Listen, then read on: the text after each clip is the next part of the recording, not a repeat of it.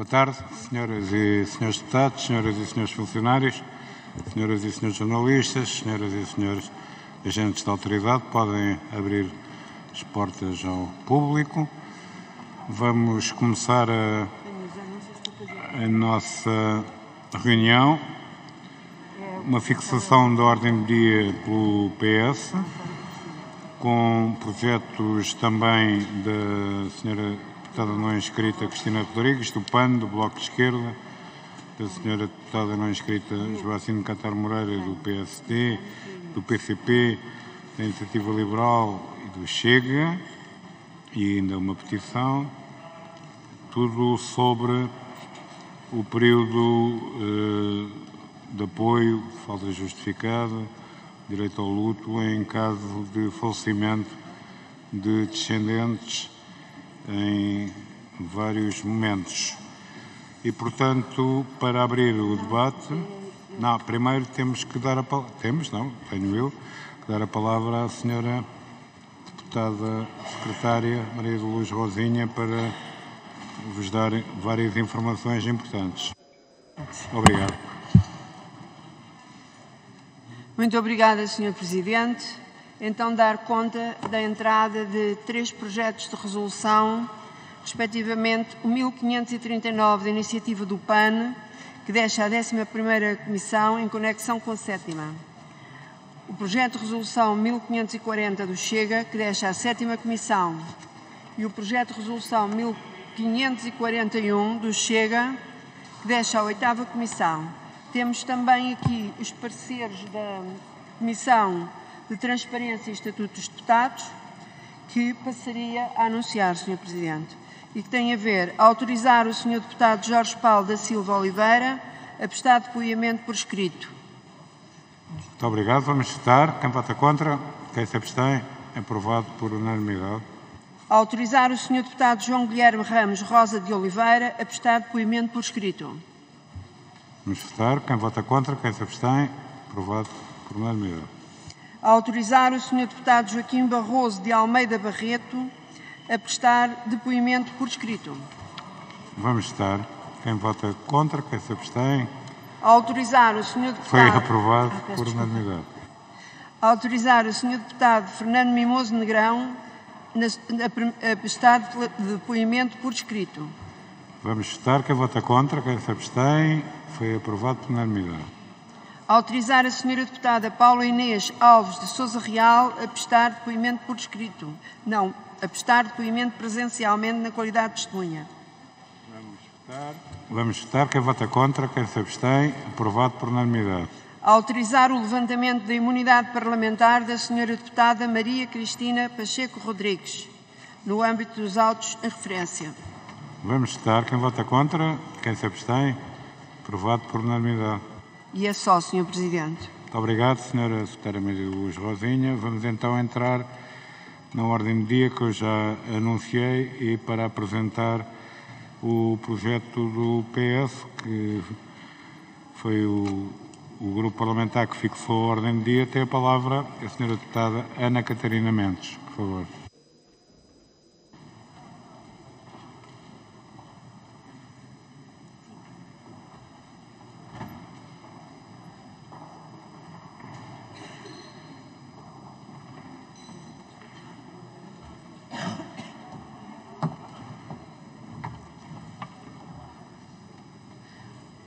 Obrigada, senhor, muito obrigada, Sr. Presidente. Sr. Presidente, senhoras e senhores deputados, o luto e a morte são por si temas da intimidade, da privacidade e que pouco se dão a discursos públicos e por isso, Sr. Presidente, serei mesmo muito breve. Este não é um tema de debate público, é antes uma reflexão sobre a dor privada este não é um tema que divida partidos e todos nós, creio mesmo que todos nós, nos prostramos perante quem tem de viver a dor desta perda inominável, abominável, não quantificada e para toda a vida. Sabemos que somos mortais, mas vivemos sem pensar muito na morte, sem pensar na morte dos que nos são queridos. Vivemos quase na esperança de que não aconteça não pensamos nisso, nisso cujo nome nem queremos mencionar para conseguirmos seguir com a vida. A perda de um filho, senhoras e senhores deputados, é considerada uma das experiências mais traumáticas vivenciadas pelo ser humano. Este luto é definido como um processo intenso, complexo e de longa duração, dada a sua natureza incompreensível e devastadora. Por estes fatores, o luto por um filho tende a ser o mais prolongado que todos os outros lutos, dura toda uma vida, podemos ler na petição que foi entregue a esta Assembleia da República. Um Parlamento, senhoras e senhores deputados, deve ser a voz dos cidadãos e a petição subscrita por 82 mil, 82 mil pessoas despertou-nos para a injustiça na lei. O grito que se ouve nesta petição é de uma dor vivida, em silêncio, e só pode convocar-nos a responder, na medida do que um Parlamento pode, ao seu apelo. O que hoje fazemos nesta Assembleia da República, agradecendo profundamente a todos os peticionários que nos trouxeram esta possibilidade, é corrigir, na medida do possível, a injustiça da lei, não podendo, por isso, corrigir a injustiça da vida. Recorro a palavras de alguém que descreve esta dor porque não tenho palavras que possam transmitir o sofrimento maior. Disse Walter Essin: É da semente do amor que floresce a saudade. É da colheita do fruto que surge algo que chamamos de laços. E é quando a vida os desata que chamamos de perdas. Perdas irreparáveis. Perdas que não têm nome. Dor que dói só de pensar dor que um dia ouvi ser equiparada a um parto inverso. Devolver o filho ou a filha, sem ao menos nos perguntar se damos essa permissão. Lágrima que não sai, choro que nos falta o ar, medo de viver, medo que o medo nunca saia do nosso coração, medo do medo. Uma vontade louca de voltar segundos ou talvez milésimos dele, para gritarmos pelo nosso filho. E nada é possível. O chão é roubado. O coração parece parar. Borboletas voam angustiadas na nossa alma. Olhos que não abrem mais. Mãos que não nos afagarão mais. Voz que não nos dirá que está com fome ou que quer aquele doce que só você sabia fazer. O momento de dor intensifica. A cena tortura-nos, ao invés de nos acalmar. Ele ainda aqui está, mesmo que já não mais em vida. Senhoras e senhores deputados, o Grupo Parlamentar do Partido Socialista responde ao apelo da Associação Acreditar. Deixa um abraço solidário a todos os familiares e entende que é justa a pretensão de passar de cinco dias de faltas injustificadas para 20 dias, se é que algum dia podemos quantificar quanto é esta dor. Saibamos, pois, por isso, senhoras e senhores deputados, neste dia onde cumprimos e reparamos esta injustiça, saibamos, pois, respeitar o silêncio que se impõe.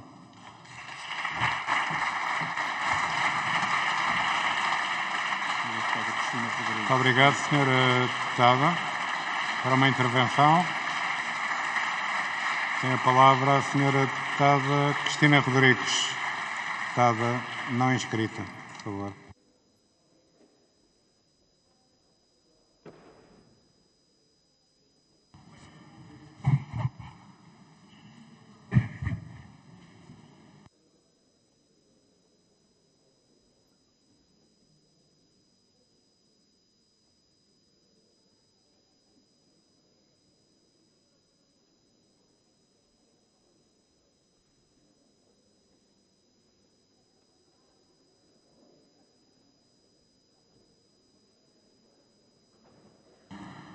Muito obrigada, Sr. Presidente, senhoras e senhores deputados. Em primeiro lugar, gostaria de congratular a Acreditar, Associação de Pais e Amigos de Crianças com Cancro, por ter lançado a petição que solicita a alteração do regime de luto parental e que impulsionou os vários projetos em discussão aqui hoje. Folguem saber que o aumento do número de dias de faltas justificadas por perda de um filho reúne consenso nesta Casa, indo ao encontro daquilo que é defendido pela Acreditar. Recordo, no entanto, que quem sofre uma perda estacional também perde um filho. Atualmente, o nosso Código do Trabalho não reconhece o direito ao luto destes pais, apesar desta perda também ter um impacto emocional forte, profundo. Recusar o seu direito ao luto é dizer a estas pessoas que a sua dor não é reconhecida nem valorizada. E neste ponto não posso deixar de reconhecer o trabalho da Associação Projeto Artemis e de outras organizações junto das famílias que acabam por não encontrar apoio no serviço público. A mãe trabalhadora tem apenas direito à licença por interrupção da gravidez, a ser atribuída pelo seu médico. Contudo, esta não se confunde com o direito ao luto, que deve ser garantido tanto à mãe como ao pai, que neste processo acaba muitas vezes por ser injustamente esquecido, assim como aos beneficiários da gravidez de substituição. Está na hora desta Casa alterar o regime do luto, assim como consagrar na lei uma abordagem humanizada à perda estacional. Obrigada.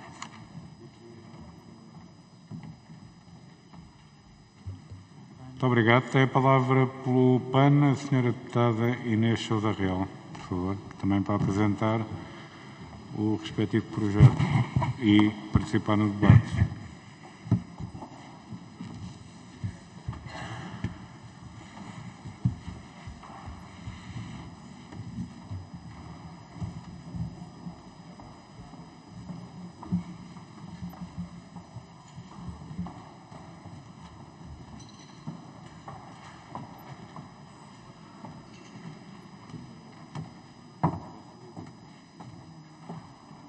Muito obrigada, Sr. Presidente, senhoras e senhores deputados.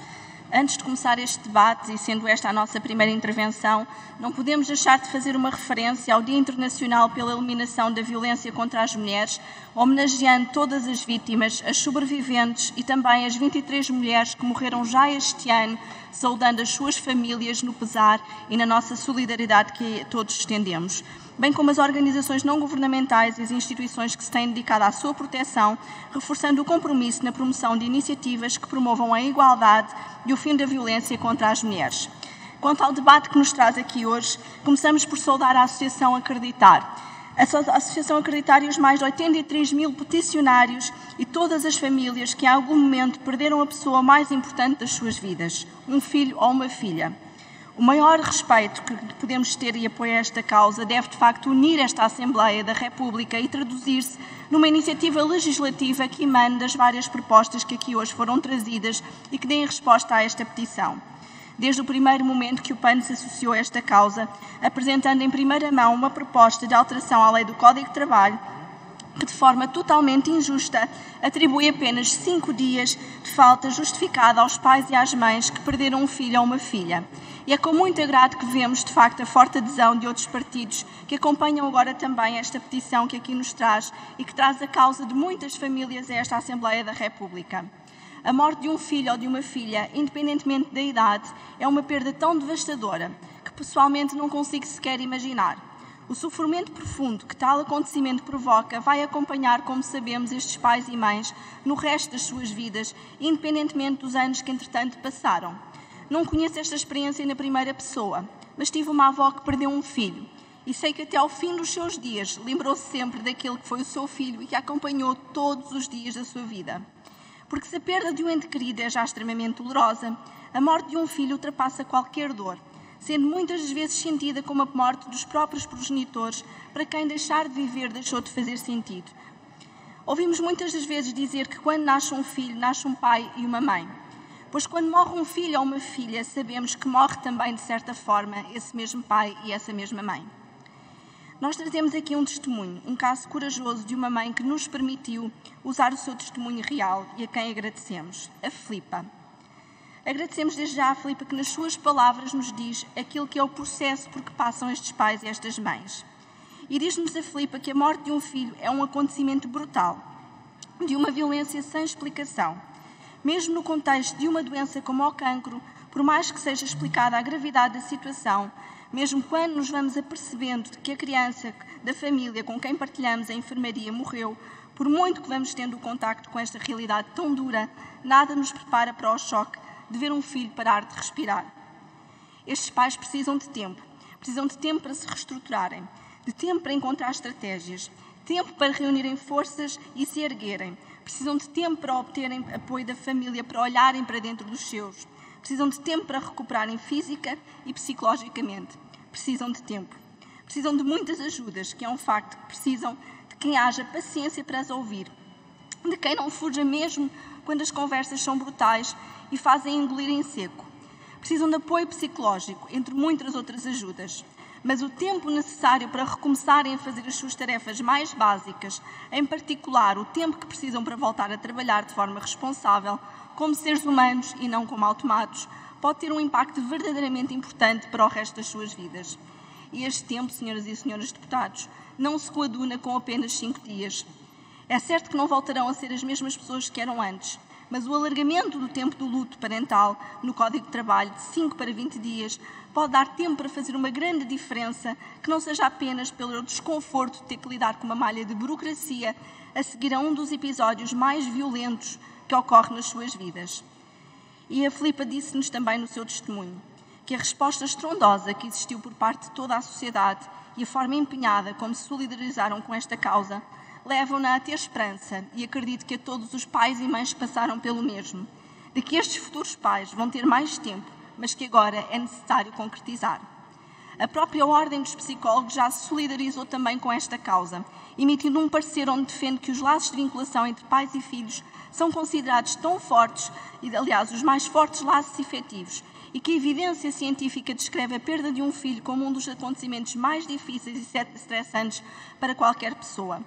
Por esta razão, o risco de um luto prolongado nestes casos é duas vezes superior ao registado por outras perdas. Aliás, em muitos casos, o sofrimento é de tal ordem que leva mais de 80% destes pais a desejar a sua própria morte após a perda do seu filho. E muitos reportam que o sofrimento não diminui ao longo do tempo, apenas passam a viver com sentido de perda permanente. Não nos podemos esquecer também neste debate da perda gestacional, uma matéria muito pouco falada e compreendida na nossa sociedade, que ignora a violência emocional que é para a mãe e para um pai terem de passar por todo o processo, em particular para a mãe, em que tem de passar pelo processo do parto e ver um projeto de vida, um projeto familiar, nascer já sem vida. E todos sabemos que, de facto, estes primeiros dias são essenciais, mas há algo que nós, enquanto legislador e sociedade, somos todos chamados a dar resposta. Se para além de termos o dever de agir como uma aldeia, de estimular estes pais e mães a conseguirem ter um suporte que, que apoie a sua dor, um suporte que os permita seguir em frente, sem estipular qualquer tipo de prazo, nomeadamente legal, como se o luto tivesse de estar condicionado a estes dias. Caberá então aqui, à lei, influenciar a própria sociedade, reconhecendo o direito ao luto de 20 dias, quer dos pais e mães que perdem um filho, quer das mães da perda geracional, gestacional nestes casos, mas também aumentando o prazo para quando se perde um ente querido. Porque também não faz qualquer sentido que alguém que perde um companheiro de uma vida tenha tão pouco tempo para se restabelecer e hoje somos todos chamados para reconhecer que o atual regime é insuficiente para proteger a saúde psicológica, o bem-estar dos pais e destas mães e também para proteger a nossa sociedade perante o dever emocional que todos têm de poder viver a alegria, mas também a dor.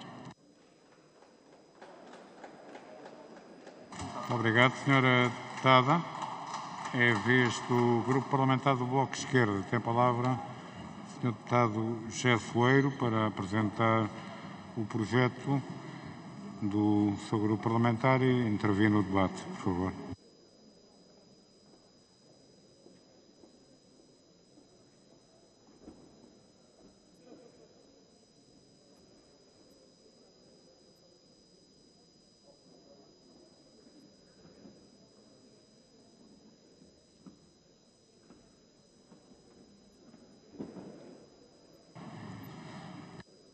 Muito obrigado, Sr. Presidente. Senhoras e Senhores Deputados, haverá porventura entre nós e certamente nas galerias desta sala quem tenha a experiência aflitiva de que hoje falamos. Pela minha parte, não posso imaginar a dor de perder um filho. Mas sei, como aliás sabemos todos e todas, que é cruel a lei que temos que confere apenas cinco dias de luto para este acontecimento, este acontecimento inexprimível e traumático. A Associação Acreditar que cumprimento e saúde com imenso reconhecimento e respeito fez uma petição para alargar esse período para 20 dias e recolheu em poucos dias mais de 80 mil assinaturas. O mote da petição que desencadeou este debate diz o essencial: o luto de uma vida não cabe em cinco dias. Na verdade, como aqui já foi dito, o luto pode durar toda a vida. Ele é diferente de pessoa para pessoa, varia ao longo do tempo, vai e vem, depende daquilo em que acreditamos, de como enquadramos as nossas experiências, mas também das circunstâncias, da nossa rede social e familiar, de tantas coisas. Certamente não será também em 20 dias que se faz este caminho longo, mas uma coisa é certa: a previsão legal de um período tão curto, de 5 dias apenas, para recuperar de um evento tão traumático, é claramente desfasada da realidade e das necessidades de quem trabalha. Como se pode contar que ao fim de cinco dias as pessoas estejam em condições emocionais de ir trabalhar? Mas não é só a dimensão emocional, são também as vicissitudes do próprio processo burocrático que lhe está associado. É tudo o que é preciso fazer e reorganizar. Por isso, dar este passo que a petição que hoje debatemos solicita ao Parlamento é de elementar bom senso e de elementar sensibilidade. Na realidade, os prazos são curtos para qualquer situação das que estão previstas no Código de Trabalho associados ao luto. Dois dias pelo falecimento de um irmão. Não será pouco? É pouco.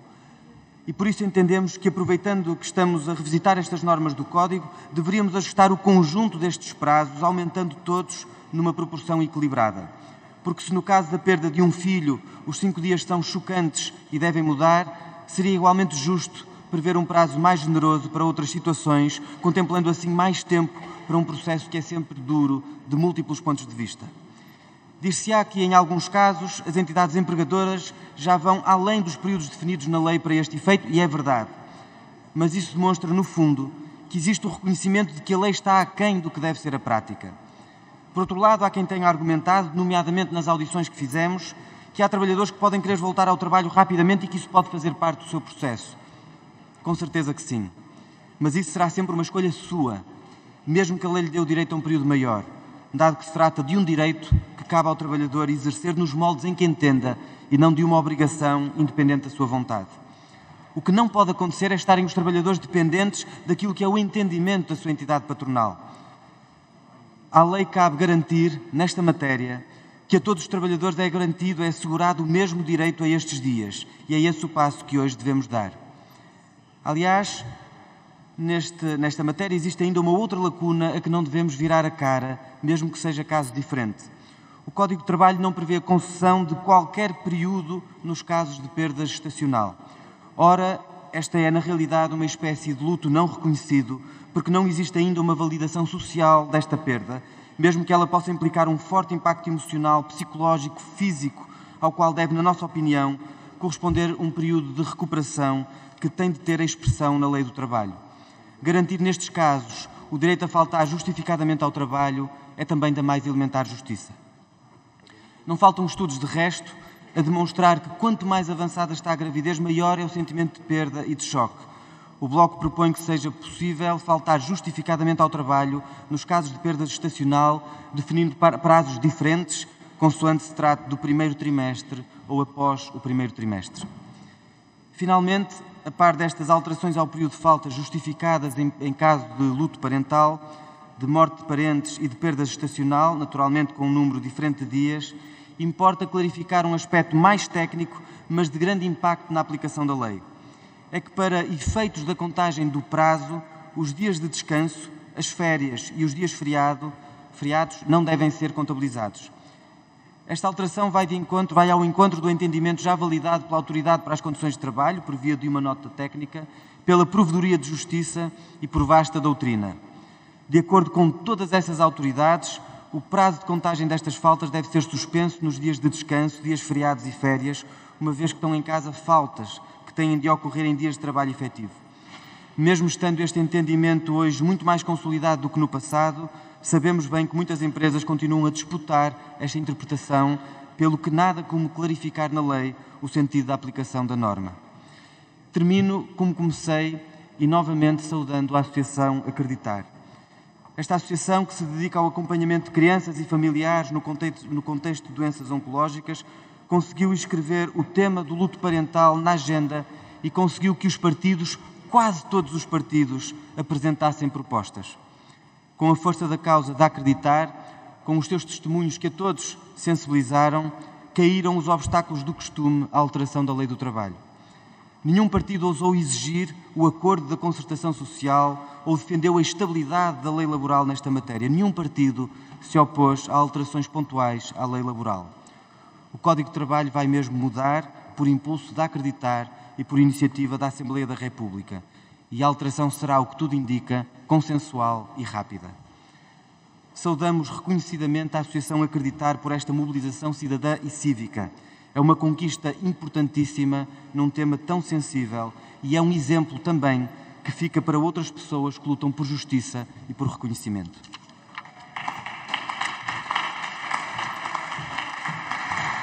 Obrigado, Sr. Deputado. Tem a palavra a Sra. Deputada Joacine Catar Moreira. Deputada não inscrita, por favor.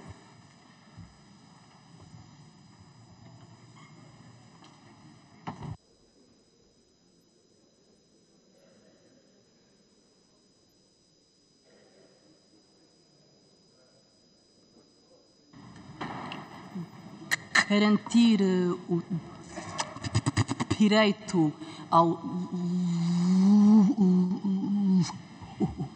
culto em condições dignas e humanizantes é um imperativo de justiça social e uma necessidade irrenunciável numa sociedade que visa fomentar a compaixão entre os seus cidadãos e cidadãs e garantir a qualidade de vida a vários níveis, o respeito pelas vidas destes indivíduos e o respeito pelas vidas dos seus familiares e dos seus próximos. Agradeço à Associação Acreditar por nos ter orientado e agradeço igualmente aos vários partidos a união numa área que é uma área que não tem nada a ver com ideologias, que não tem nada a ver com mais nada a não ser com a existência humana. E esta é, é igualmente uma iniciativa com o objetivo de garantir o direito de se faltar justificadamente ao trabalho em caso de perda de familiares, mas igualmente em caso de perda gestacional aumentando os dias e as horas que somente simbolizarão o nível de dor, às vezes infinita. E é isto. Muito obrigada. Muito obrigado. Tem a palavra a senhora deputada Sandra Pereira, do Grupo Parlamentar do PSD, por favor.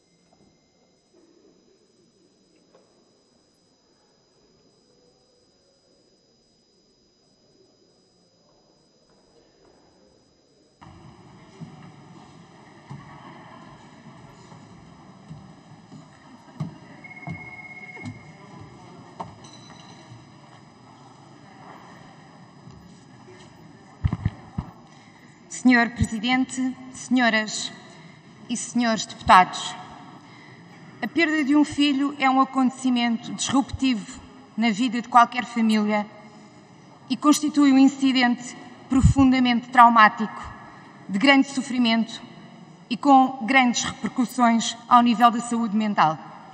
Não há palavras que possam descrever tamanha dor.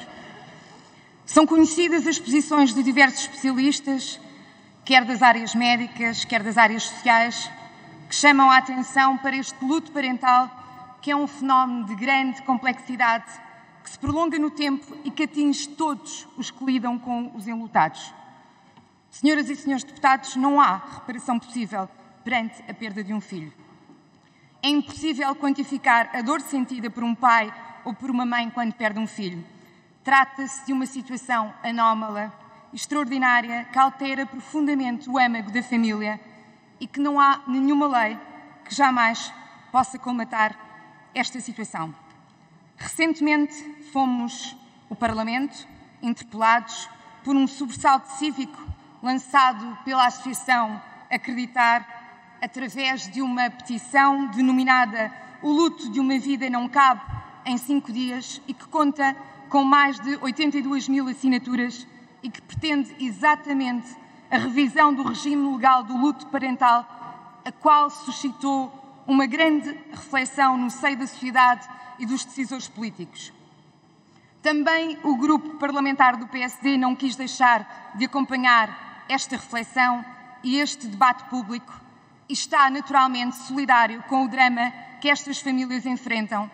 E naturalmente vimos aqui hoje apresentar e propor ao Parlamento o alargamento até 20 dias do período de faltas justificadas, exatamente por motivo de falecimento de um filho.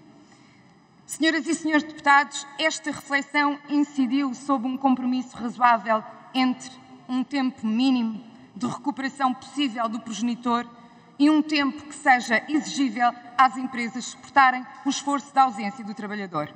Não há nenhum tempo razoável para a recuperação da perda de um filho. No entanto, aquilo que sabemos é que os atuais cinco dias que estão configurados na lei para regresso ao trabalho são insuficientes e acabam por ser consumidos com tarefas burocráticas e de costumes que não permitem um mínimo de restabelecimento emocional do sofrimento que os pais passam ao viver uma realidade destas. Na realidade, senhoras e senhores deputados, o que sucede já com muita frequência é, perante esta situação, o recurso a uma baixa psiquiátrica que atenta a debilidade da saúde mental de quem enfrenta tal perda é com grande facilidade clinicamente atestada. A proposta do PSD visa convocar a sociedade e o Estado a associarem-se a esta tragédia familiar. A nossa proposta pretende, sobretudo, acompanhar as pretensões da Associação Acreditar e pretende uma visão mais equilibrada em termos de custos desta medida. Senhoras e senhores deputados, lançamos aqui um desafio a todos os demais grupos parlamentares que intervieram com iniciativas sobre esta matéria, que possam partilhar desta nossa reflexão e, em conjunto, apresentarmos uma solução que vá ao encontro das famílias e do sofrimento que as perpassa e também das empresas que sofrem o constrangimento da ausência do trabalhador. Uma visão conjunta que contemple as empresas, as famílias e os trabalhadores. Uma visão de sociedade. Termino, senhoras e senhores deputados, não sem antes fazer uma saudação especial à Associação Acreditar por esta interpelação que nos convocou e deixo uma palavra de conforto e solidariedade a todos os pais que vivem esta tragédia familiar. Podem contar com o PSD, disse.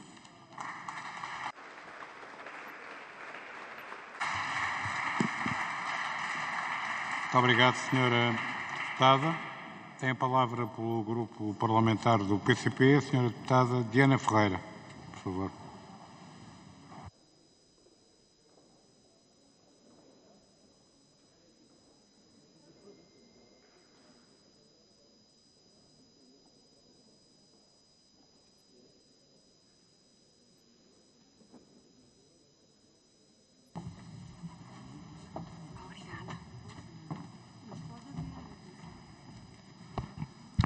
Muito obrigada, Sr. Presidente. Senhoras e senhores deputados, gostaria de começar, em nome do Grupo Parlamentar do PCP, por saudar a Associação Acreditar, que dinamizou a petição 317, solicitando a alteração do regime legal do luto parental, que está também em discussão hoje, bem como saudar os mais de 82 mil peticionários que a subscreveram.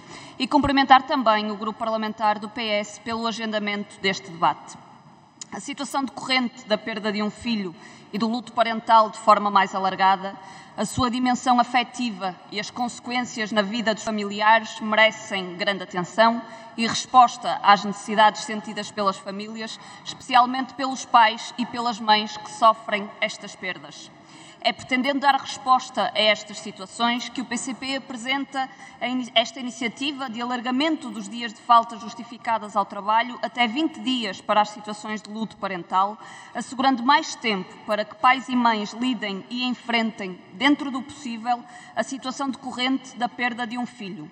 Uma situação tremendamente dolorosa, descrita como devastadora, que contraria as expectativas do desenvolvimento da vida e que tem efeitos psicológicos nefastos, muitas vezes irreversíveis, sendo nestas situações um luto contínuo que não se começa sequer a resolver ou a enfrentar num curto espaço de tempo, nomeadamente nos cinco dias úteis que estão hoje previstos no Código do Trabalho. Esta situação concreta exige que se considere o sofrimento profundo associado a esta perda e a respectiva necessidade de tempo que permita encontrar mecanismos para lidar com esta situação, não só na dimensão individual de quem sofre a perda, mas também para a criação de condições de disponibilidade para outros elementos da família, especialmente outros filhos, também eles atingidos por esta mesma perda. O alargamento dos dias de falta ao trabalho justificadas e pagas para os pais que sofrem esta situação, não resolvendo nem minorando a sua dor, nem tampouco significando o fim do luto, que pode mesmo durar toda uma vida, tem de ser articulado com apoio psicológico, algo que o PCP também propõe nesta iniciativa. E importa também a este propósito dizer que o alargamento dos dias de falta justificadas ao trabalho devido à perda de um filho não oblitera nem pode atropelar as atuais disposições legais relativas ao acompanhamento a filho, nem apaga a necessidade do reforço dessas mesmas condições, especialmente nas situações de filhos com doença crónica, deficiência ou doença oncológica, tanto na dispensa ao trabalho, como na necessidade de se assegurar suporte emocional, uma vez que também estas situações se traduzem em processos longos e emocionalmente dolorosos. Estas necessidades são sentidas de forma mais acentuada pelas mulheres e não podemos deixar de o referir, sobre quem, na esmagadora maioria das situações, recai a responsabilidade de acompanhar os filhos, num quadro em que as desigualdades entre homens e mulheres são ainda bastante evidentes. Não obstante a necessidade de se encontrarem respostas para a situação específica do luto parental, o PCP entende que outras situações de perda de familiares, também elas emocionalmente difíceis, necessitam de alterações legislativas no sentido do alargamento dos dias de falta justificadas ao trabalho, pelo que apresentamos propostas concretas para tal, de 15 dias nas situações de falecimento de cônjuge, incluindo em situação de união de facto, ou de outros ascendentes no primeiro grau da linha reta, e 8 dias para falecimento de outros familiares de linha reta ou em segundo grau de linha colateral, aplicando-se também estas disposições às situações de afinidade.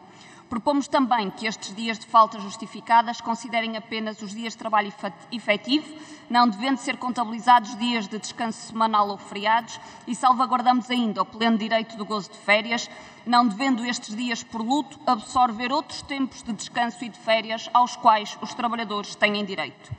Com esta iniciativa, asseguramos que os pais e as mães trabalhadoras tenham uma janela de tempo maior para lidar com a perda de um filho mas também para que, que, outros, que, os outros trabalhadores tenham mais tempo para lidar com outras situações de perda por falecimento, sem serem prejudicados nos seus direitos laborais nem na sua remuneração.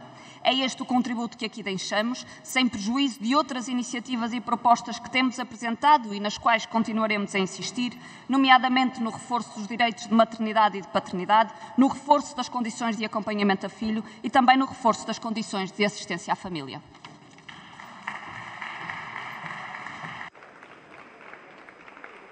Obrigado, Sra. Deputada. Tem a palavra o Sr. Deputado João Coutinho de Figueiredo, da Iniciativa Liberal. Por favor.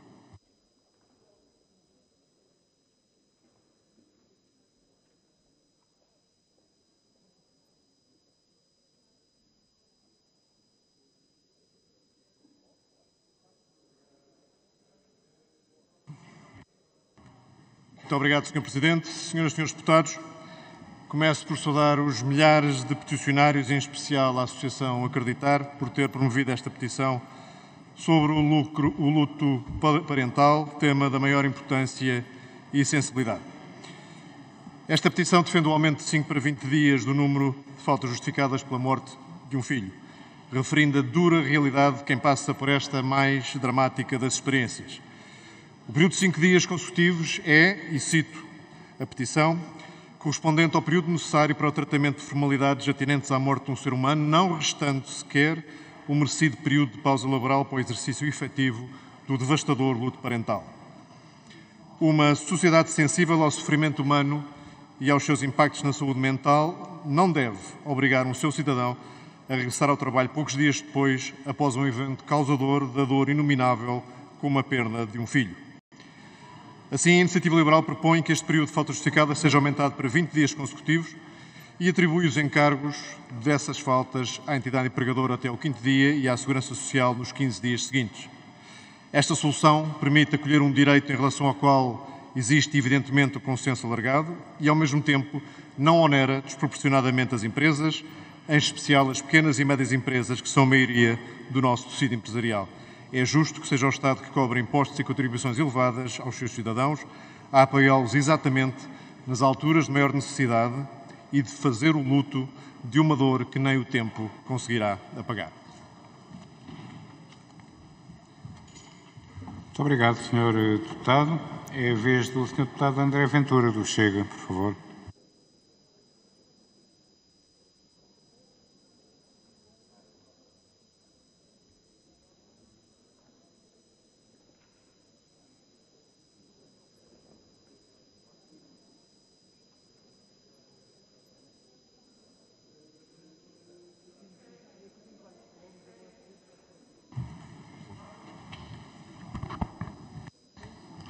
Senhor Presidente, senhores deputados, começamos esta intervenção por saudar a Associação Acreditar, que trouxe de facto um tema que, como poucos, consegue unir os vários polos da democracia. Como foi dito aqui hoje, a dor da morte não divide e une, como poucos temas, esta Assembleia da República. Quando olhamos para a lei portuguesa, mesmo no quadro da atual conjuntura da União Europeia, o período de luto previsto para a morte de familiares é manifestamente insuficiente. É verdade que há países da União Europeia que o têm mais curto, mas também é verdade que nesses mesmos países há práticas consolidadas que alargam esses direitos. A lei, como sempre, deve ser ponderada e adequada aos vários interesses em jogo. Mas há momentos na vida em que os valores do humanismo superam quaisquer constrangimentos legais, laborais, de estabilidade legislativa ou de participação em concertação social que devamos atender. A morte, o direito ao luto, é um desses casos. Ninguém pode dizer que seja justa uma lei que dá dois dias pela morte de um irmão ou cinco dias pela morte de um filho. Mas também devemos pensar se não devemos ir um pouco mais longe agora que damos um passo civilizacional relevante. O direito ao luto em caso de perda estacional ou neonatal é um daqueles que menos reconhecido é socialmente, menos validado e é daqueles para qual a sociedade olha menos e dá menos importância e relevo. Apesar de muitas vezes o sofrimento ser significativo e relevante, social e pessoalmente, continuamos a olhar para ele com enorme insignificância. O passo que aqui se dá hoje também na proposta do Chega é de reconhecer também o direito ao luto em caso de perda estacional, dando um grande passo civilizacional neste sentido. Como disse, há poucos temas que nos unem tanto como este. E talvez este seja aquele que durante esta legislatura mais nos uniu. E só por isso, só por esse caso, merece que seja uma das últimas e mais importantes linhas de aprovação desta Assembleia da República. O consenso aqui demonstrado mostra que, em casos muito importantes, cá estamos para assumir o nosso trabalho. Mais uma vez, uma enorme saudação aos peticionários e ao trabalho que foi feito, e acho que esta Assembleia da República fica com uma enorme imagem de marca ao terminar a legislatura, aprovando um projeto como este. Muito obrigado.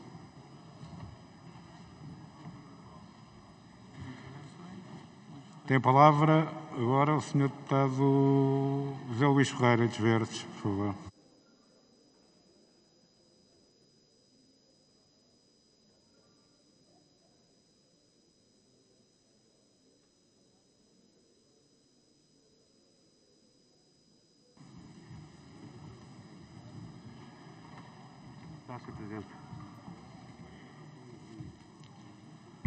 Senhor Presidente, senhoras e senhores deputados, temos hoje para discussão um conjunto alargado de iniciativas legislativas com o objetivo de proceder ao alargamento dos dias de faltas justificadas por motivo de luto. E a primeira nota que os verdes querem deixar neste debate é recordar que, apesar de ter sido o PS a proceder ao agendamento desta importante matéria, o que naturalmente saudamos. O impulso processual pertence à Associação Acreditar, que promoveu e dinamizou a petição que hoje também está em discussão.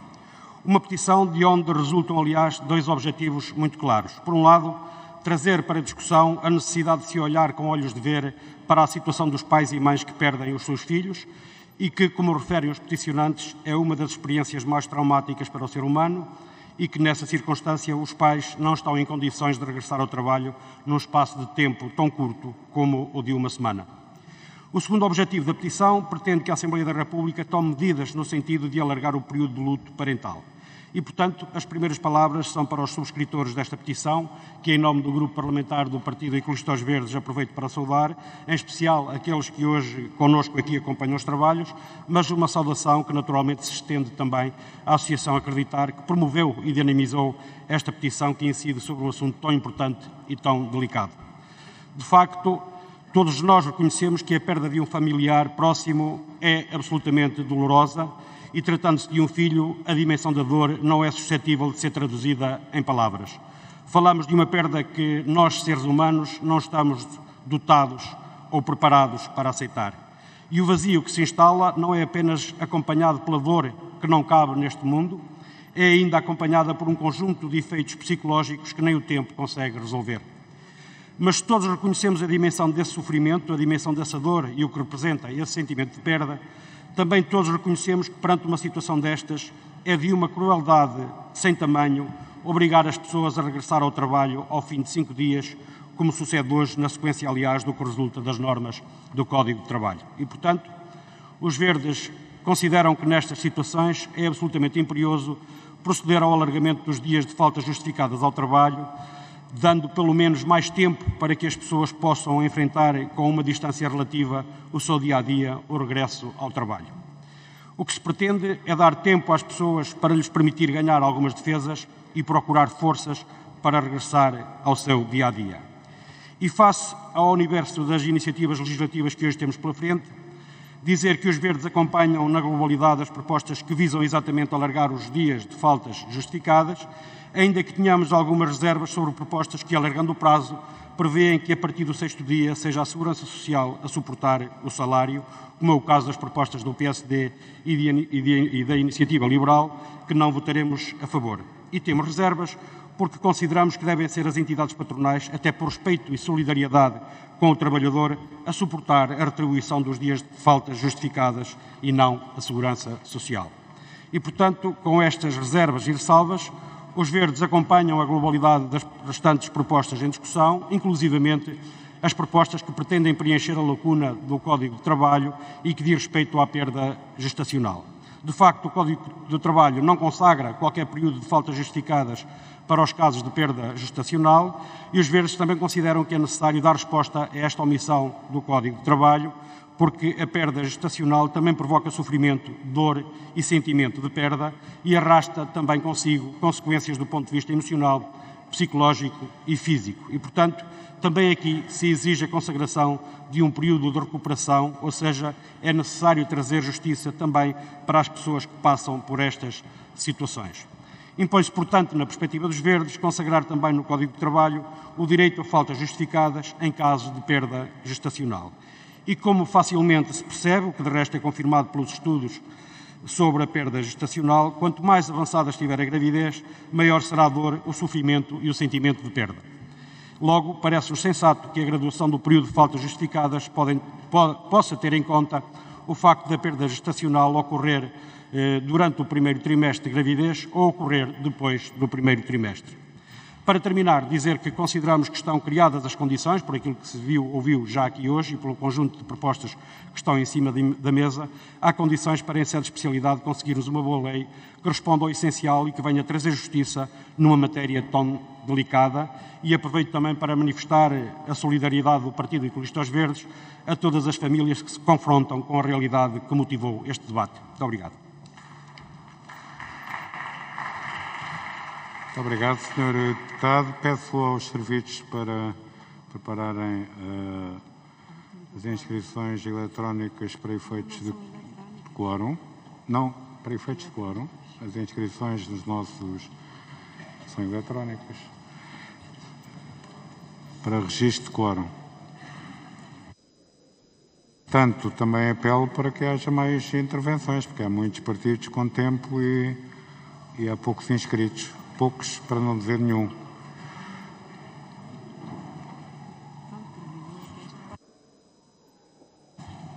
Vamos ao segundo ponto. Se, se não houver mais inscrições neste ponto, passamos diretamente ao encerramento deste mesmo ponto. Vamos dar mais um tempo até que apareça nos ecrãs o registro eletrónico. Mas depois é aqui, Presidente, ainda Eu sei. É. Barbosa Ribeiro. Hã? Tiago Barbosa. Temos nos terminais a, a inscrição para a votação eletrónica e, portanto, para o registro de quórum. Não havendo mais eh, inscrições, passamos ao encerramento deste ponto. O Sr. Deputado Telmo Correia pede a palavra.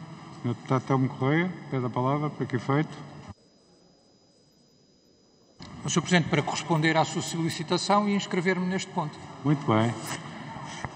Força, Sr. Deputado. Muito obrigado, Sr. Presidente. Para, para dizer em nome do CDSPP que, eh, obviamente, como aqui foi dito e sublinhado por várias bancadas, eh, colocar esta questão do ponto de vista do que é a dramaticidade de eh, perder um filho não merece nenhum tipo de dúvida, de discordância, nem poderia ser de outra forma. Aquilo que aqui foi dito, e até com uh, uma dimensão por algumas bancadas que escolheram, de resto, seguir só essa reflexão com uma dimensão, eu diria que filosófica ou poética, uh, como foi feito pela sua deputada Ana Catarina Mendes, não, e é verdade, não, não, quer dizer, não, não pode merecer nenhum tipo de discordância, nem de dúvida. E, portanto, o CDS não foge a, esta, a este consenso, não foge a esta realidade e começa, obviamente, por cumprimentar os peticionários, por cumprimentar a Associação Acreditar, que lida com esta matéria, que colocou, de facto, a questão na ordem do dia e na ordem mediática e que lida, inclusivamente, com uma questão que é talvez a mais. Não sei se é a mais dramática, mas é uma das mais dramáticas com que a nossa sociedade pode viver, que é a, a doença oncológica, designadamente em, em, crianças. Obviamente que há muitas perdas que não derivam dessa doença oncológica e, por vezes, até em menores e em crianças. Basta pensarmos no que acontece nas nossas estradas, nos acidentes, enfim, em muitas outras circunstâncias que podem levar a esse caso. E, portanto, isso não não merece dúvida, nós não fugimos deste consenso e estamos de acordo. Sabemos, obviamente, que hum, há várias questões aqui, no entanto, que podem ainda merecer alguma reflexão. A primeira, e eu sublinharia, é que nem todos os projetos nos dizem, e há países que fazem essa diferenciação, se estamos a falar, por exemplo, de filhos menores ou não. Estou a pensar, por exemplo, que o ordenamento jurídico francês estabelece uma regra até uma certa idade e outra regra, não dos mesmos dias, se for outra idade, precisamente por um dos argumentos que a Associação Acreditar colocou na ordem do dia, que é o, o, o caráter antinatural do que é um pai ou uma mãe assistirem a, e, e presenciarem e conhecerem a morte de um filho. É evidente que quanto menor de idade ele for, maior é a violência, por assim dizer, desse acontecimento. Isto não é excepcionado e, portanto, não estamos numa situação, poderia ser, ou não é diferenciado, por assim dizer, poderia ser-lo, não é o caso. Por outro lado, nós aceitamos que este consenso que se gerou dos 20 dias, ainda que teoricamente pudéssemos discutir se passávamos de 5 para o dobro, que seria 10, para o triplo, que seria 15, ou para o quádruplo, que são 20 dias. Mas o consenso está generalizado nos 20 dias e nós não vamos romper esse consenso e, portanto, votaremos favoravelmente que o luto parental passe a 20 dias. Curiosamente, a questão foi colocada aqui uma questão que me parece importante e que me parece interessante, que foi colocada pelo Sr. Deputado do Bloco de Esquerda, o Sr. Deputado José Soeiro, quando nos diz, enfim, mas será que noutros casos não poderíamos rever também? Bom, eu, eu compreendo essa ideia e até diria que, na minha opinião, também o método que estamos a seguir dificulta essa possibilidade, porque, obviamente, fazer uma revisão mais global eventualmente levaria a uma maior ponderação, a maior análise, a maior conjunto de audições, que ao tomarmos a decisão agora, eh, enfim, no penúltimo dia de trabalhos do Parlamento, tornam mais difícil toda a avaliação, mas estou de acordo consigo, se vamos mexer nesta matéria, então se calhar a perda de um irmão podia também ter alterado a data. As perdas estacionais faz sentido serem enquadradas e serem ponderadas, mas tudo isso levaria a uma reflexão, na nossa opinião, maior do que aquela que estamos a fazer. E por outro lado, também dizer o seguinte, dizer que eh, esta matéria, na nossa opinião, seria desejável que fosse enquadrada e que fosse ponderada em termos de concertação social. Sempre o defendemos e continuamos a defender. Agora, não é por isso que sairemos do consenso, não sairemos deste consenso, mas faz sentido, porque, obviamente, se nós atribuímos 20 dias, eh, enfim, e, e, e isto tem muito a ver com a forma até como se entende o luto e com a forma como cada um vive o luto, mas esta preocupação tem a ver, obviamente, com as pessoas que precisam do tempo, que aqui vários senhoras e senhores deputados falaram, o tempo de recuperação, o tempo de reganhar o ânimo para enfrentar o dia a dia e para enfrentar a vida que estes pais são sujeitos, pais e, e alargando, outros familiares são sujeitos. E, portanto, para quem eh, admite isto, tem que ponderar também ao mesmo tempo que, obviamente, isto tem implicações do ponto de vista laboral, do ponto de vista do regime laboral e do ponto de vista das próprias empresas. Ao dizermos que não excluímos do consenso, diria que, para nós, esse consenso implica, se vamos alargar, e é verdade, como aqui foi dito, e já outros deputados o disseram, que os regimes em termos europeus são díspares, vão dos eh, 20 e, e meses na Dinamarca, não é? Não, não sei, não me recordo exatamente de cor quanto, mas são meses na Dinamarca para um dia pago em Itália, eh, eh, dois na Alemanha, quer dizer, portanto, o regime europeu é muito dísparo. Vamos assentar em Portugal num regime que é um regime humano, humanista, solidário, eh, estamos de acordo. Mas temos que pensar que isto tem, obviamente, interferência nas empresas e para quem gosta de falar de pequenas empresas, eh, quanto mais pequenas forem as empresas, maior é a implicação, porque, obviamente, numa grande empresa e numa grande estrutura é mais fácil substituir, numa pequena empresa é mais difícil. E por isso eu aproximo, e o CDS aproxima-se particularmente, dos projetos que aqui disseram que não farão refletir esse custo integralmente na empresa. Ou seja, que deve ser, obviamente, a empresa a suportar o que já existe hoje em termos legais, ou seja, os cinco dias, mas que os restantes dias devem ser, uma vez que são uma responsabilidade social de toda a comunidade, suportados pela segurança social.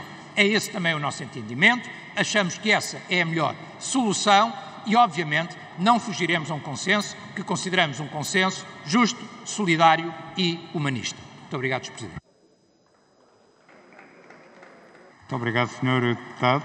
Tem a palavra para uma intervenção rápida a Sra. Deputada Inês Sousa Real. Dizer rápida porque são 12 segundos, por favor. Procurarei cumprir o tempo. Muito obrigada, Sr. Presidente. Não, é no seguimento da intervenção do Sr. Deputado do CDS, porque levantou aqui uma questão relativamente à destrinça de ser ou não maior de idade a, a, a pessoa que morre, portanto, o filho que morre. A nosso entender, essa é uma falsa questão, porque não faz sentido ser apenas 5 dias para alguém que tem um filho com 18 anos que, que morre e 20 dias para alguém que tem um filho menor de idade que, que, falece igualmente. E, nesse sentido, a proposta do PAN prevê um prazo igual para ambos os casos, porque a dor e o luto parental deve ser tratado com a mesma dignidade, independentemente da idade da pessoa, ou, neste caso, do filho em causa. Muito obrigado, Sra. Deputada. E agora, para uma intervenção final, tem a palavra o Sr. Deputado Tiago Barbosa Ribeiro, do Grupo Parlamentar do PS. Por favor. Muito obrigado. Senhor Presidente, este foi um debate, é um debate, uh, sobretudo uh, de silêncios. Uh, eu creio que a forma serena e, e aprofundada, reflexiva como este debate decorreu, unindo todos os partidos, independentemente de um ou outro artigo que possa não corresponder inteiramente ao que todos pensamos, este, este debate é um debate que une todos os partidos em função daquela que é, inevitavelmente, eh, uma, a pior das dores. Acho que todos temos essa eh, noção. A pior das dores implica humanismo, implica emotividade na forma como este tema, inevitavelmente, é tratado. E os relatos que nós recebemos da Associação Acreditar, a Associação de Pais e Amigos de Crianças com Cancro, foram uh, relatos tocantes. Certamente alguns daqueles que nos fizeram chegar a petição, com quem falamos, com quem dialogamos, estão hoje aqui presentes, alguns nas galerias. E nós não conseguimos uh, sequer pensar o que alguns destes pais passaram, aquilo que nos descreveram, a forma dolorosa como enfrentaram a morte de um filho. E não há para isso nem cinco dias, nem vinte dias, uh, nem dias. Há a tentativa de lutar contra uma dor insuportável, um luto que não passa, certamente a vida toda. Mas é preciso entender este tema com humanismo. E, portanto, é possível, como se vê, procurar mitigar, se podemos dizer assim, um pouco das dificuldades, das adversidades, das, da dor que uma situação destas eh, provoca. E, portanto, o Partido Socialista entendeu fixar esta ordem do dia e apresentar um projeto que corresponde, sem tirar nem pôr, sem acrescentar nem subtrair, àquela que foi a pretensão, àquela que é a pretensão da Associação Acreditar. E, portanto, o Partido Socialista pretende, como aqui foi dito pela nossa líder do grupo parlamentar, passar de 5 para 20 dias o luto parental pela perda de um filho, sem fazer nesta reta final, neste encerramento dos nossos trabalhos, eh, outras alterações, outros artigos, outras, outros debates que, inevitavelmente, enfim, certamente são legítimos, mas que não correspondem propriamente ao âmago, ao objeto desta petição e dificilmente permitiriam uma conclusão em tempo útil dos nossos trabalhos. Eh, trabalhos, aliás, que vão decorrer logo após o fim deste plenário, com uma comissão de trabalho uma reunião da Comissão de Trabalho e Segurança Social extraordinária para fecharmos de imediato a especialidade deste trabalho, destes projetos, para poder, ainda amanhã, ser aprovado, eh, como todos certamente faremos, no guião de votações. E, portanto, este é o foco do Partido Socialista e é o foco que permite responder àquele que, em nosso entendimento, foi uh, o, enfim, a expectativa destes peticionários, uh, em relação à qual agradecemos, em relação aos quais agradecemos a mobilização social e, inevitavelmente, partilhamos uh, a dor que todos sentiram num momento tão difícil que todos atravessaram, enfim, um, um sentimento que certamente alargamos a todos os pais que enfrentam uma situação destas por esse país fora. Muito obrigado a todos.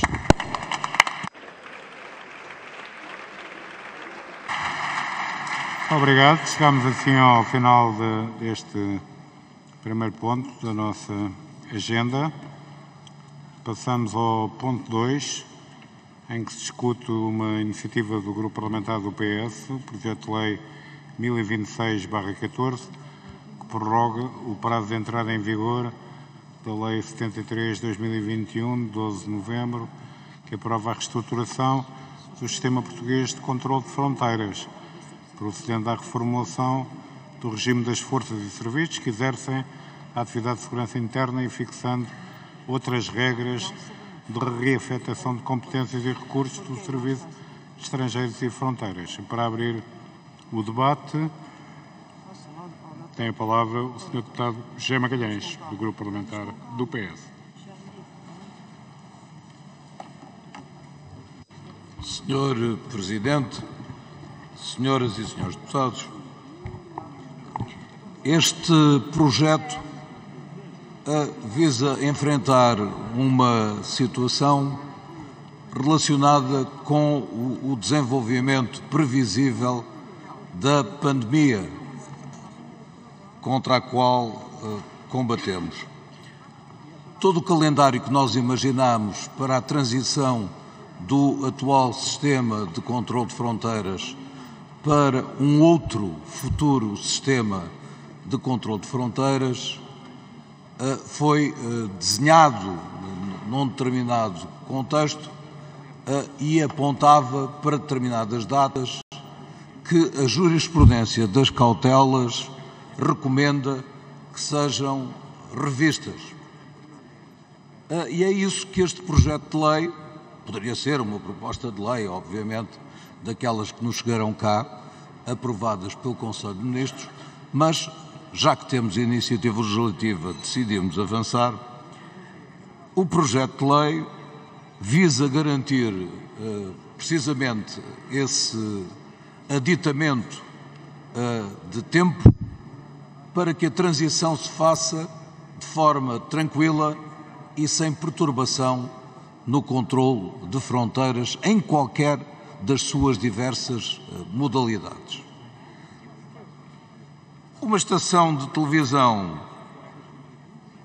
canal de notícias, uh, tem nestes dias e horas uh, salientado como aberração e aspecto estranho que estejam em curso processos tendentes a melhorar as carreiras dos funcionários do atual CEF, mas a verdade é que, como ontem explicou o Sr. Ministro em Valongo, esses processos foram desencadeados há muito tempo e foram objeto de luz verde do Ministério das Finanças no final do ano 2020 e estão agora no momento de serem tramitados como estão a ser.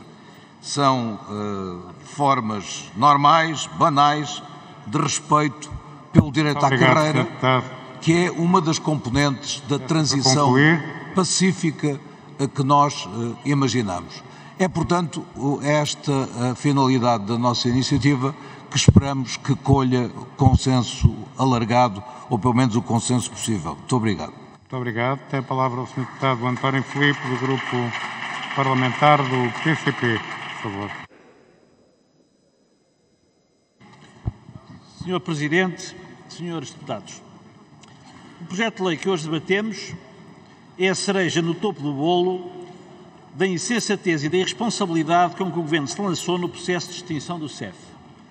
A decisão de extinguir o CEF foi uma fuga para a frente perante as dificuldades em que o Governo se viu envolvido por ter respondido tarde a más horas à evidência de um crime hediondo cometido por elementos nas instalações do CEF. O Governo pode repetir até à exaustão que a decisão de extinguir o CEF já estava prevista, mas o tempo em que foi tomada essa decisão, assim como o modo obstinado e precipitado como foi posta em prática, revelam que se tratou de uma fuga que pretendia ser para a frente, mas que afinal foi para parte nenhuma. E não foi por falta de avisos. Quando aqui foi aprovada a alteração à Lei de Segurança Interna para extinguir o CEF, recordo a declaração de voto do PCP. Cito: a opção de extinguir o CEF e distribuir as suas funções policiais pela Polícia Judiciária, pela PSP e pela GNR com a consequente distribuição dos seus elementos por força de segurança com natureza, atribuições e estatutos muito distintos, não será certamente isenta de problemas. Até ao momento, não se conhecem os critérios a seguir nessa operação complexa, nem o tempo e o modo como se irá processar. Esta situação de indefinição, que certamente se prolongará no tempo, implicará forçosamente uma situação de instabilidade que não é desejável e que é suscetível de criar dificuldades em matéria de segurança interna que bem poderiam ser evitadas. E não foi preciso muito tempo para nos dar razão. O pretexto da pandemia para adiar a extensão do CEF é um pretexto como qualquer outro. Podia ser a aproximação do Natal ou as alterações climáticas. O que sucede é que, como o Governo não sabe onde se há de meter, o PS propõe que se empurre com a barriga por mais seis meses. E, entretanto, em matéria administrativa, ninguém consegue tratar nada com o CEF.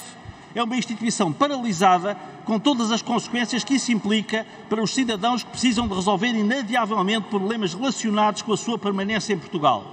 Bom seria que o Governo, em vez de tentar perceber como há de extinguir o CEF, se preocupasse em criar condições para que ele pudesse trabalhar. Disse.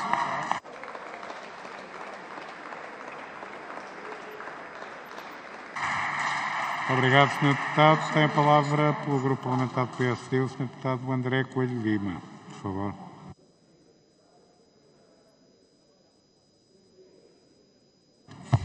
Muito obrigado, Sr. Presidente. Cumprimento o Sr. Presidente, a senhoras e senhores deputados. E então diria que para a final de legislatura não podíamos ter melhor exemplo daquilo que tem sido a governação do Partido Socialista. Um exemplo de irresponsabilidade, um exemplo de insensatez e, pior do que isso, um exemplo que não sabem o que andam a fazer. Porque aprovaram uma legislação que não tinham consciência daquilo que ela significava. mas mais, aliás, protagonizada, isso sim é cereja no topo do bolo, por um ministro da desorientação interna, que é bem a demonstração de como está este governo neste processo e noutros processos. Até pela coragem a coragem que teve de culpar a pandemia. Olha, a pandemia, quer dizer, aprovou a legislação em plena pandemia e agora vem-se escudar na pandemia que tem as costas do tamanho deste Parlamento para passar para seis meses o período de vacácio legis. Isto é, não há justificação possível. O Partido Socialista e o Governo fizeram o que não sabiam que estavam a fazer, fizeram sem consciência do que estavam a fazer e agora nem coragem têm para assumir o erro que fizeram.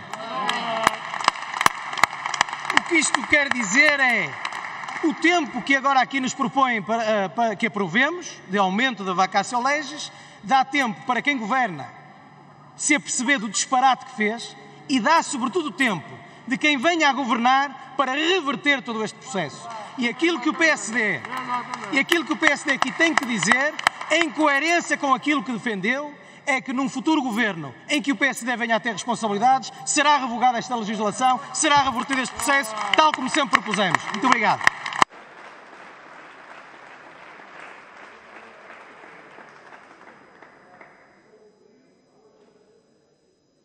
Muito obrigado, Sr. Deputado. Tem a palavra o Sr. Deputado Telmo Correia, do Grupo Parlamentar do CDS-PP. Por favor.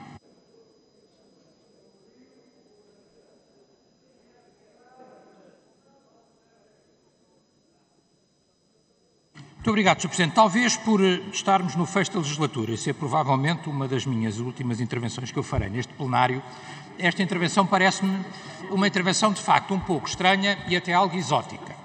Uh, pelo seguinte, porque obviamente uh, este diploma que o Partido Socialista, e já vão ver porque este diploma que o Partido Socialista aqui nos apresenta hoje e que o Sr. Deputado José Magalhães apresentou é um completo absurdo.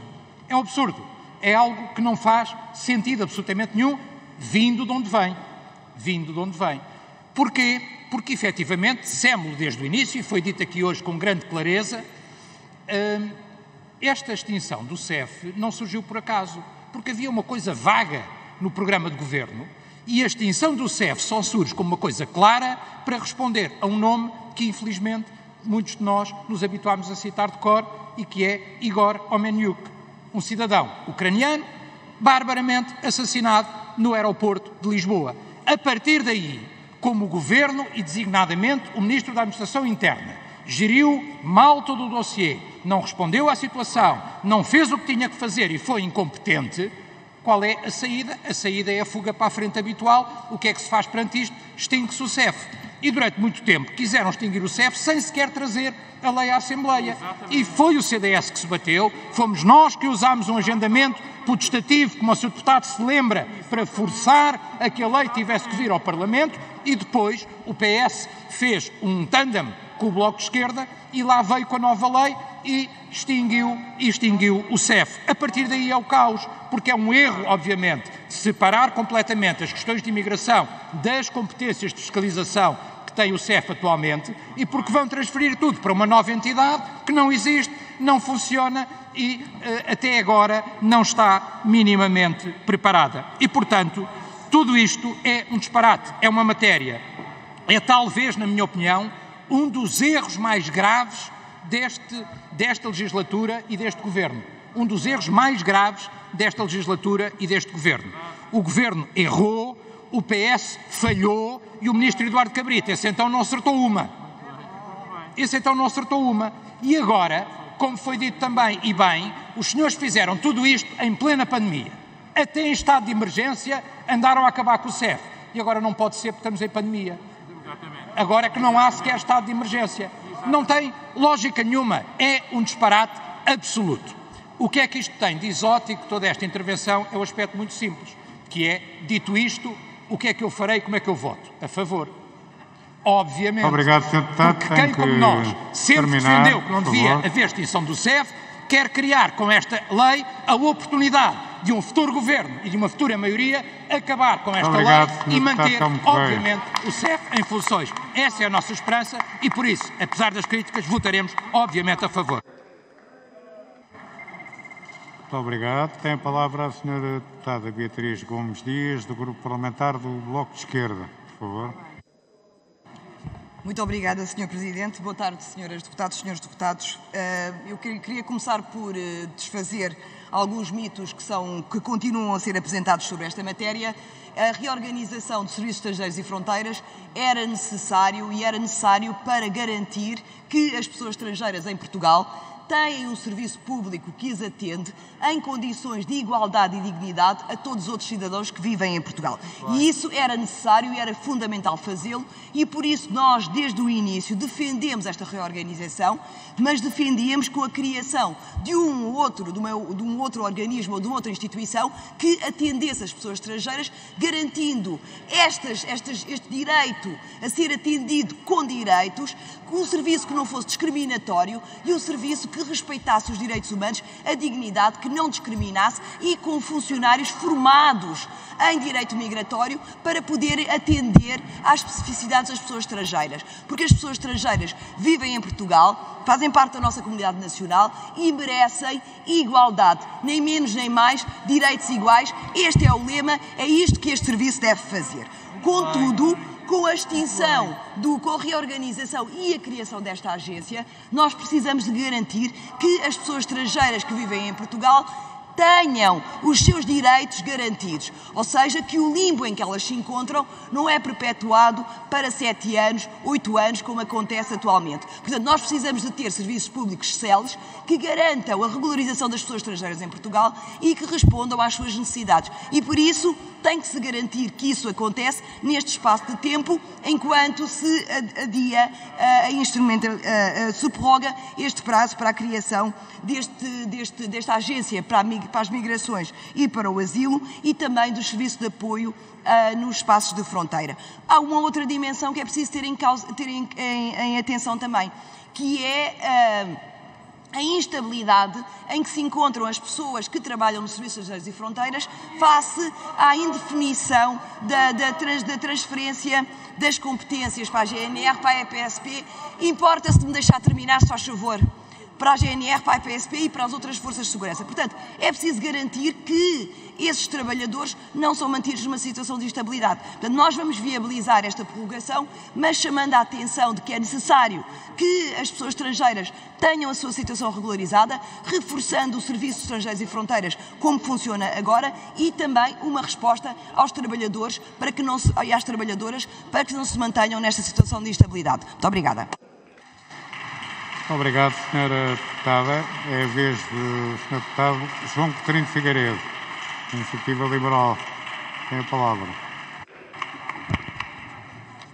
Muito obrigado, Sr. Presidente. Senhoras e Srs. Deputados, dos dois minutos que tenho, basta-me o primeiro para sublinhar que este é o último ato desta ópera bufa a que se transformou o processo de extinção do CEF um processo preparado à pressa, sem pareceres, sem consulta aos trabalhadores, sem consulta aos sindicatos e que só veio a esta Assembleia porque um partido exigiu. É atrapalhada, continua, só se justifica que uma lei que entrou em vigor há 15 dias já precisa de uma alteração de prazos de 4 meses, às costas das tais, da tal pandemia que tem as costas largas e que devia ser aproveitado, isso sim, já que tem as costas tão largas, para permitir a reversão desta decisão absolutamente errada deste governo. O minuto que me sobra é provavelmente o último minuto liberal que terei nesta casa. E, portanto, queria aproveitar para vos lembrar a todos que hoje se comemoram três efemérides importantes para os liberais. É o Dia Internacional de Eliminação de Violência contra as Mulheres, é o Dia Nacional do Empresário e passam 46 anos do 25 de novembro.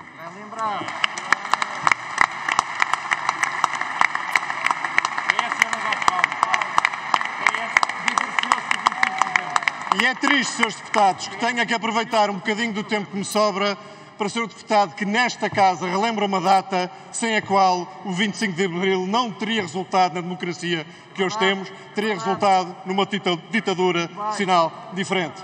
Portanto, em nome desses valores da liberdade, em nome de todos aqueles que já não se lembram o que é que significou esse dia, aqui fica a nossa homenagem e eu não podia esperar um melhor tema para dedicar o, provavelmente, o último minuto liberal que terei nesta casa. Muito obrigado. Muito obrigado. Tem a palavra o Sr. Deputado André Ventura, do Chega, por favor. Muito obrigado, Sr. Presidente, Srs. Deputados. O que temos aqui hoje é muito claro. O Governo quis punir e desmantelar o CEF por um facto que tinha ocorrido de natureza criminal. Fê-lo em plena pandemia, fê-lo em estado de emergência. E agora? Agora que precisamos de controlar fronteiras e agora que precisamos do CEF, Ai meu Deus, o CEF e a reforma que voltem para trás, venham-nos lá ajudar a controlar e a ajudar a resolver a atrapalhada que nós gerámos aqui neste Parlamento. Isto foi o que basicamente nos disse hoje o Partido Socialista. Peço desculpa ao país pela atrapalhada que gerei e agora vamos pedir ao CEF que volte e que nos ajude temporariamente a controlar as fronteiras para a pandemia. É a maior precipitação legislativa que quiseram dar por estar nas mãos do Bloco de Esquerda, que acabou por vos virar as costas no processo orçamental e que, mesmo assim, para lhes darem esta prenda de final de ano de desmantelar o CEF, viu-se no que é que deu. Deu numa agência que não existe, num CEF que deixou de existir, no total abandalhamento do controle de fronteiras e agora o que querem é voltar a pedir às pessoas do CEF trabalhem lá durante dois meses que nós vamos acabar convosco daqui a uns tempos. É isso que querem fazer. Mas ainda bem, ainda bem, Sr. Deputado, que temos eleições à porta. Porque assim os portugueses sabem bem em que é que podem votar no Partido Socialista. No fim da segurança, na destruição da segurança interna e num abrir de portas total a dizer venha quem quiser, venha fazer o que quiser e venha beneficiar do Estado português. Já não havia definição nesta lei. Agora é que é o caos absoluto. Funcionários, inspectores, todos Todos eles não sabem o que vai acontecer. E isso deve-se à maravilha do governo PS em aliança com o Bloco de Esquerda. É isso e é este quadro jurídico que temos neste momento. Mas este processo tem uma vantagem. E por isso Chega vai viabilizar esta proposta do Partido Socialista. E vai viabilizar, Sr. Deputado, não é pela quinta vaga, nem pela sexta, nem pela sétima, nem pela oitava. É que finalmente teremos a oportunidade de após eleições, e se Deus quiser que ele é grande, que esta maioria seja de direita e não de esquerda. Teremos a oportunidade. E fica aqui a promessa solene de mandar para o caixote da história a proposta do Partido Socialista e do Bloco de Esquerda e de voltar a fazer o CEF renascer das cinzas, porque Portugal precisa de um CEF forte, precisa de controlar fronteiras e precisa de um país que seja igual entre os iguais na União Europeia e não um parente pobre de braços abertos para todo o tipo de migração. Obrigado, Muito obrigado. Deputado. Tem a palavra a senhora deputada Bibiana Cunha, do Grupo Parlamentar do PAN, por favor. Muito obrigada, Sr. Presidente, senhoras e senhores deputados. Com esta proposta, vem finalmente o Partido Socialista reconhecer que fez um processo apressado naquilo que deveria ser um debate aprofundado em torno da reestruturação uh, do CEF. Aliás, recordo que em julho de 2021 discutimos aqui com o Governo na generalidade e ficou aqui nesta casa o compromisso de se fazer um processo em especialidade que fosse devidamente discutido, que envolvesse os profissionais e que acautelasse esta transição eh, da forma mais adequada possível. Infelizmente, não foi isso que verificamos no processo de, em generalidade. Foram eh, ignorados os pareceres, não houve um efetivo diálogo com os profissionais e agora a Covid-19 serve para justificar aquilo que, eh, evidentemente, eh, seria eh, um erro eh, por parte do Governo pela forma como o fez. Ou seja, eh, sabemos bem que se viesse a ser eh, implementado aquilo que nesta Casa acabou por ser aprovado, a 11 de janeiro estaria a ser levado a cabo sem regulamentação do controle de fronteiras, nomeadamente no que ao CEF diz respeito, no que à PSP diz respeito e no que à, à própria GNR diz respeito e, portanto, resultou aqui num vazio legal. Portanto, dizer que, de facto, estes seis meses consolidam uma, uma oportunidade para os vários partidos, inclusivamente eh, reforçarem naquilo que vão ser os seus programas eleitorais eh, nesta matéria, efetivamente o caminho que deveria ser amplamente feito em especialidade e que da nossa parte lamentamos que não tenha sido feito, nomeadamente no que diz respeito, por exemplo, aos, às preocupações e aos direitos dos trabalhadores, porque recordo inclusivamente aquela que foi a declaração de voto do PAN um, efetuada a quando da votação final desta proposta, é que estamos perante eh, uma matéria da maior importância para o nosso país, uma matéria que tem que ver com pessoas migrantes, pessoas eh, refugiadas, requerentes de asilo e que, evidentemente, no âmbito da crise humanitária que vivemos, da crise de solidariedade que vivemos, necessitam também de políticas públicas que sejam feitas com a devida cautela e com o devido debate aprofundado, o que não aconteceu. Muito obrigada. Muito obrigado. Tem a palavra o Sr. Deputado José Luís Ferreira, dos Verdes, por favor. Obrigado, Sr. Presidente, senhoras e senhores deputados. Eu creio que se dúvidas houvesse sobre o erro que representou a decisão de extinguir o CEF, essas dúvidas ficariam hoje literalmente dissipadas com a apresentação desta iniciativa legislativa por parte do Partido Socialista. O Governo preferiu extinguir o CEF ao invés de o dotar dos meios técnicos e humanos para poder exercer as suas atribuições, para poder exercer as suas competências. E o resultado está à vista. É o caos no que diz respeito à regularização de pessoas estrangeiras. E agora, à boleia da pandemia, o PS quer suspender o diploma que entrou, aliás, em vigor apenas há 15 dias, pretende adiar a resolução do problema para a frente e, entretanto, o caos continua. É o PS a dar a mão à palmatória, mas o problema não fica resolvido com este projeto de lei. A resolução do problema fica, digamos assim, congelada. Eh, E nós vamos esperar que, ao menos, este processo sirva para o Governo e o Partido Socialista perceberem o quão grave pode ser eh, legislar à pressa e procurar resolver os problemas com a extinção de serviços, ao invés de os dotar dos meios técnicos e humanos necessários para que possam dar resposta às atribuições que lhes cabem ou que lhes competem ou que são atribuídas pela lei. Muito obrigado. Muito obrigado, Sr. Deputado. Chegamos assim ao final da- do debate. Peço aos serviços para nos apresentarem os resultados do quórum, eh, para podermos dar início às votações. Temos 202 deputados inscritos e, portanto, mais do que quórum válido para qualquer votação. E vamos então começar imediatamente com essas votações. Primeira votação, na generalidade, um projeto de lei 993 do PS que aumenta o período de falta justificada por motivo de falecimento de des- descendente de primeiro, de primeiro grau na linha reta ou equiparado, que envolve alterações ao Código de Trabalho. Quem vota contra? Ninguém. Quem se abstém? PSD, o CDS e a favor as restantes bancadas e deputados e, portanto, foi aprovado este projeto de lei do PS.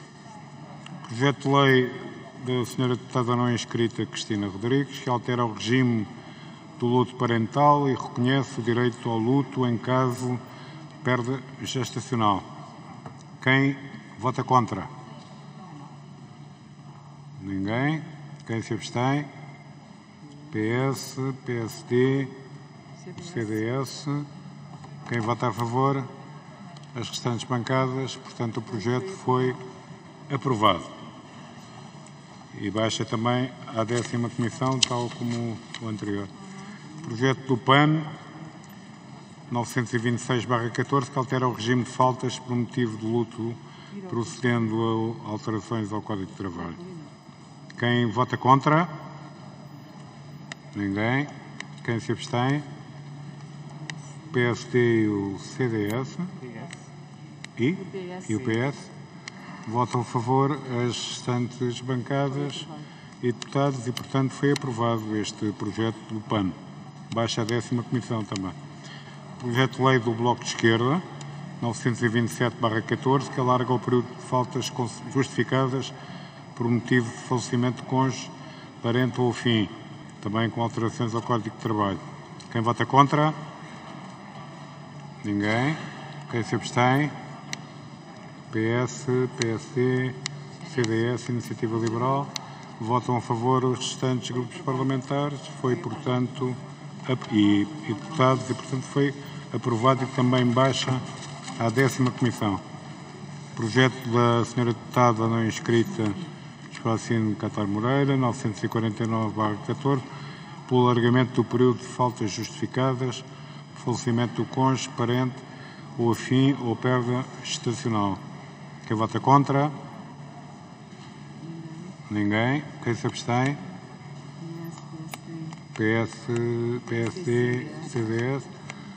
Uh, os restantes uh, votam a favor e, portanto, foi também aprovado e baixa à décima comissão. Projeto de lei do PSD, 1018-14, alargamento do período de faltas justificadas por motivo do falecimento de filho para 20 dias. Quem vota contra? Ninguém. Quem se abstém? PCP, o PS, o PCP e os Verdes votam a favor. As restantes bancadas foi, pois, também aprovado e baixa à mesma comissão, à décima. Projeto do PCP, 1023, procede ao alargamento dos dias de faltas justificadas por motivo de falecimento descendentes do primeiro grau de linha reta, cônjuges, ascendentes, parentes ou fins, com alterações ao Código de Trabalho. Quem vota contra? Ninguém. Quem se abstém? PS, PSD, CDS e Iniciativa Liberal votam a favor as restantes bancadas e deputados. Foi, portanto, aprovado e baixa à décima comissão. Projeto de Lei da Iniciativa Liberal 1024-14, que altera o regime de faltas justificadas por motivo de falecimento do descendente. Quem vota contra? Ninguém. Quem se abstém? PS, PSD, PCP, Verdes votam a favor as restantes bancadas e, portanto, foi aprovado também este projeto que baixa igualmente à décima comissão.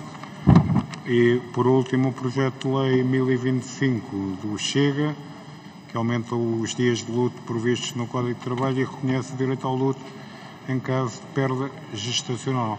Quem vota contra? Ninguém. Quem se abstém? O PS, o PSD, o, o o CDS, o PCP, os Verdes. E quem vota a favor? Senhora Deputada Joacine Catar Moreira. Senhora Deputada Isabel. Cristina, Cristina Rodrigues. Cristina Rodrigues, peço desculpa. E também o Senhor Deputado André Ventura de Chega. E o PAN. E, portanto, foi aprovado este projeto que baixa também à décima comissão. Estamos eh, quase a chegar ao fim, mas ainda não acabamos a sessão. Senhora Secretária Maria da Luz eh, Rosinha vai dar-vos algumas indicações e vamos ter que fazer algumas votações. Por favor. Muito obrigada, Sr. Presidente. Portanto, a 14ª Comissão submeter a votação o seguinte. Autorizar o Sr. Deputado Jorge Paulo da Silva Oliveira a prestar depoimento por escrito na qualidade de testemunha. Quem vota contra? Ninguém. Quem se abstém? Ninguém. Aprovado por unanimidade. Autorizar o Sr. Deputado João Guilherme Ramos Rosa de Oliveira a prestar depoimento por escrito na qualidade de testemunha. Quem vota contra? Ninguém. Quem se abstém? Ninguém. Aprovado por unanimidade. Autorizar o Sr. Deputado Joaquim Barroso de Almeida Barreto a prestar depoimento por escrito na qualidade de testemunha. Vamos votar. Quem vota contra? Ninguém. Quem se abstém? Também ninguém. Aprovado por unanimidade. Autorizar o Sr. Deputado Fernando Mimoso Negrão a prestar depoimento por escrito na qualidade de testemunha. Vamos votar. Quem vota contra? Ninguém. Quem se abstém? Também ninguém. Aprovado por unanimidade. Autorizar a, a Sra. Deputada Paula Inês Alves de Souza Real a prestar depoimento presencialmente na qualidade de testemunha. Vamos votar. Quem vota contra? Quem se abstém? Aprovado por unanimidade. Autorizar o levantamento da imunidade parlamentar da Sra. Deputada Maria Cristina Pacheco Rodrigues no âmbito dos autos em anexo. Vamos votar. Quem vota contra? Quem se abstém? Foi aprovado por unanimidade. Dar ainda conta que seguiram esta sessão por videoconferência os senhores deputados Pedro Moraes Soares, Cláudia, Pedro Moraes Soares do CDS, Cláudia André do PSD, Alexandre Poço do PSD, por se encontrar em isolamento profilático. Muito obrigado. Temos a agenda para a reunião de amanhã, que será confirmada em conferência de líderes, mas que tem na ordem do dia votações, eh, apenas e fundamentalmente. Senhora Deputada Catarina Rocha Ferreira, faz favor. Senhor Presidente, agradeço. Era para informar que estou aqui presente, apesar do sistema anunciar a minha falta. Muito obrigado, Senhora Deputada. Fica registado. Faz favor, Senhores Deputados, vamos passar para este último ponto da ordem do dia. Senhor Deputado João Paulo Correia, faz favor. Obrigado, Sr. Presidente. É para o mesmo efeito. Obrigado. Sr. Presidente, é para o mesmo efeito. Carlos Peixoto, do PSD.